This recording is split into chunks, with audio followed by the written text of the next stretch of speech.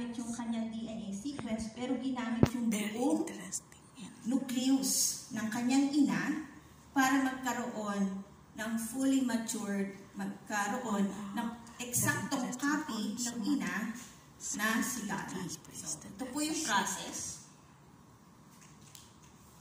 So, ito yung process ng paggawa ni Dali noong 1990s. So, ito po ang donor cell. Ito po yung talagang kanyang ina. Ito po yung nag-donate ng kanyang nucleus. So, siya po ay puti ang mukha.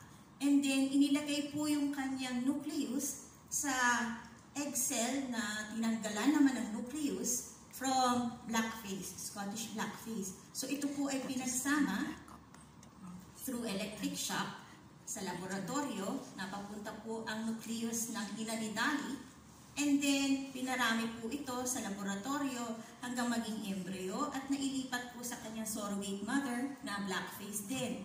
Tapos, nung ipinanganak po siya, kamukha po siya, eksaktong copy na nag-donate po ng nucleus. So, si Dali ay tatlo po ang ina. Ang kanyang donor ng nucleus, ang kanyang donor po ng enucleated egg cell, at ang kanyang pong surrogate mother. Wala po siyang ama. Ito pong ang para nag-launch ng sunod-sunod pang an modern animal biotechnology na. So, si Dali po ay around early 2010s ay siya po ay pumanaw na dahil siya po ay nagkasakit. Pero siya po ay na-preserve sa Scotland.